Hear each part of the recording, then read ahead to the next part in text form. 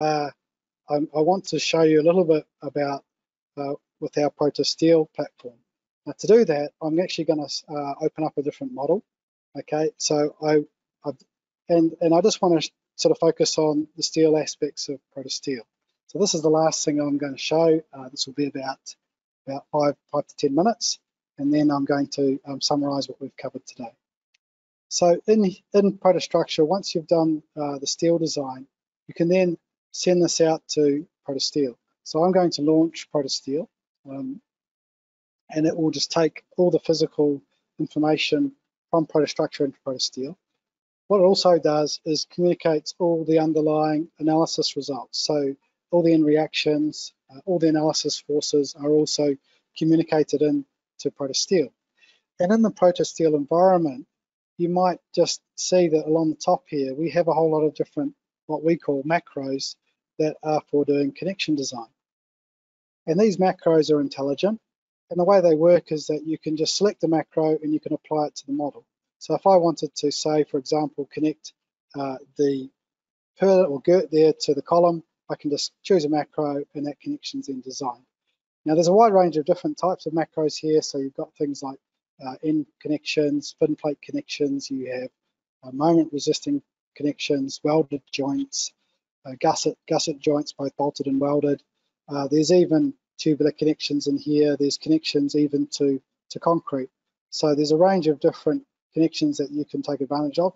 And there's also ways in which you can finish off the steelwork. So if you have to put in things like uh, stair treads and railing and checker plate, those types of things can be created in here as well. What I'm going to do now is just just move in, in and, and we'll, we'll design a few more uh, connections in here. I may come to the apex here and maybe we want to assign a connection there. So again, I can just connect the macro and create those. Um, I'm just going to turn the cut, cuts off and I'll just also hold hide the welds here so that they uh, things are just a little bit clearer for you. Um, um, I'm also going to come um, to this this connection here um, and let, us come in and put in a haunch connection. So I can choose the column and, and then the beam and then we will attempt to design this. As I mentioned, these are macros, so I can come in and uh, work with these. So the macros are dynamic and you can come in and adapt these to suit. So for this particular connection, I may wish to enter an extra stiffener plate. Okay, I can also uh, play with uh, things like uh, bolt arrangements. So if I decided that I want to have a certain distance and a certain number of bolts and uh, spacings, these can be um, manipulated in here as well. So if you just look at this uh, connection, you can see I've applied that and I've adjusted my bolt arrangements here to suit. Now I'm going to uh, come and uh, uh, connect the, the, the, beam here to the column. And for this, I might also want to use a um, stiffen end plate connection. I can choose the column and the beam, but I also want to take advantage of these stiffener plates here to connect this. So I can just choose those as well. And ProtaSteel will go away and, and make use of those and come up with a, a constructible joint. So you can see there that I've just quickly created that and it's built out the connection to allow that to, to happen. And, it, and it's looking at things like, okay, I, I need to get my hand in behind that to tighten that bolt. So we've looked at constructability and creating this. What we're also doing underneath this is that we are we are checking um, the the connection. And if I if I just uh, come and um, select the, the macro there, okay, I'm just going to come in and, and, and look at the report for this. So we're going to use the American code. Uh, you can choose the British code or the European standards, and you can click on this, and then it will go away and create the underlying report for this. So here you can see that we've documented the connection design, all the different checks are being performed, and you can see that they're being created there step by step. Okay. Now, um, so whether it's a um, whether it's a a, um, a an end plate or maybe a haunch here, you get again you can just come and choose the report and you can come and look at this in more detail. So if I choose again that report there, we can come and interrogate this uh, and see uh, see whether that's been uh, satisfactorily designed or not.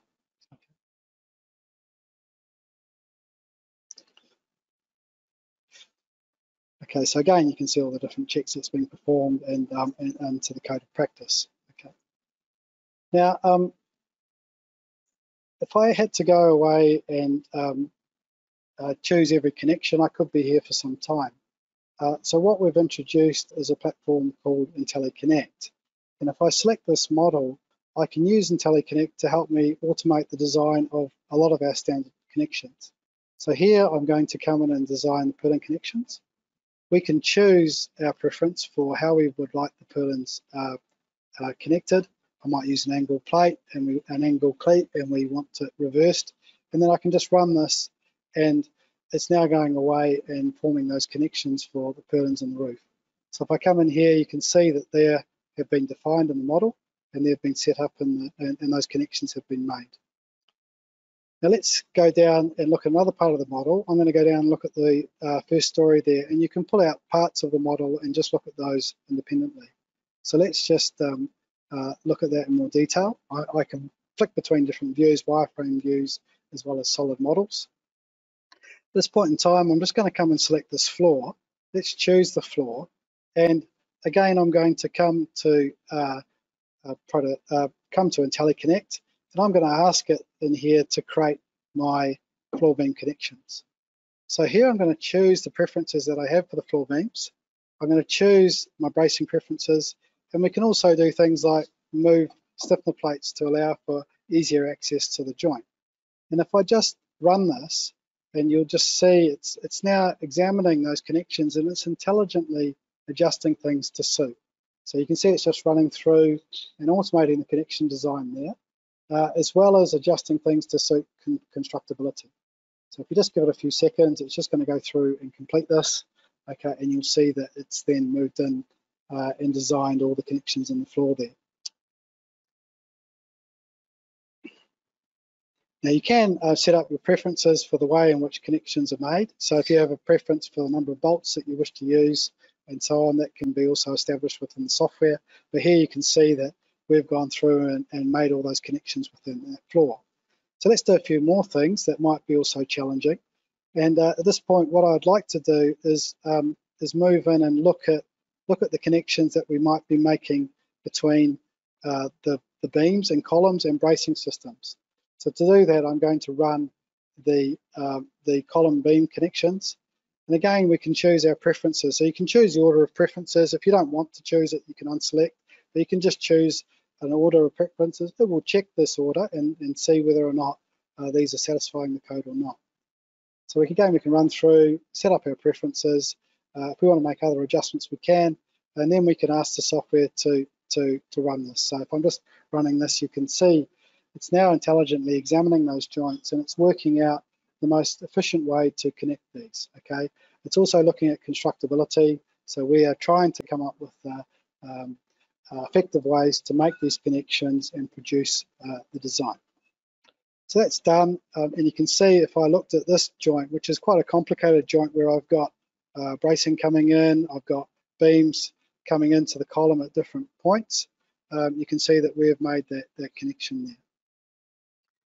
Now I could come around and, and, design other things within the model. I can just continue to use IntelliConnect to look at different design and we can um, we can design those accordingly. So if I wanted to introduce splice connections, they can also be done here.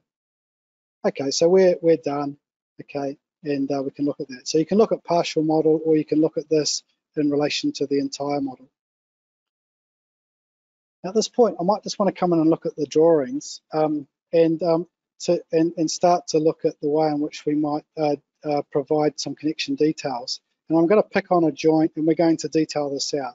So if I select a, a, a joint, uh, we can just come in and create what we call a, a, box or a detailed item manager. We could call this a column beam connection uh, one. We can add this and I can select um, objects that I might want to appear within uh, this, this connection. So I'm going to choose the elements around this. And if I right click, you can see that we've created a box around that joint. Now these are actually different views and if you just, if I just turn these off, you can see you can choose uh, the different views of the connection that you might want to, to detail out. I can also add 3D perspectives of this, okay, and um, I can just create little boxes around the model to allow me to detail out different joints that I'd like to look at. So to create the drawings from this, we just go to the drawing manager and the plan views here have been pre-populated. So if I just click on this point, uh, that story one, you'll see that we've actually created uh, the plan view of that within the title block. And you can see uh, a plan view of that particular uh, floor. Now, um, I can uh, start to annotate this. So I can select those elements. And if I wanted to annotate the members at this point, I can. So you can see the section sizes have now been uh, assigned to this drawing. We can also start to dimension things out. So if I wanted to dimension, uh, do some basic dimensioning here of that floor plan, uh, then we can do this and we can work with the, start to work with the steel detailing here. And what you'll also notice here is that there's a, a, um, a leader around the connection detail here. And if I just come out and I click on the uh, on the this uh, box again, you'll see that it's then going to start to to draw this out. So you can see the connection details have been uh, created there. I'm just going to zoom in. I'm just going to turn off my uh, weld annotations. Uh, and we can zoom in here and you can see uh, that those drawings, those views or snapshots of that detail have been created here. And you can also work with these to, to do uh, further annotation. So if I'd like to annotate uh, the members in there, I maybe also want to annotate uh, the bolts, I could annotate the welds and so on. I can then move in there and do this. And you can move in and continue to uh, work with dimensioning and so on to suit what you're wanting to show within your drawings. So very quickly, I've just taken uh, our physical model and I've automatically uh, worked at producing various drawings from this model. So these, uh, in this case, I've produced engineering drawings. We can get into breaking all these components out and automating all the shop drawing production from uh, ProtaSteel. So that just gives you a bit of a, a, snapshot. It gives you an idea of what we do with uh, ProtaSteel. I hope you found that interesting. Okay, it's a very powerful tool for being able to produce any type of steelwork detailing, uh, whether it's general engineering drawings or shop drawings. And all of this gets generated from the one central uh, structure model.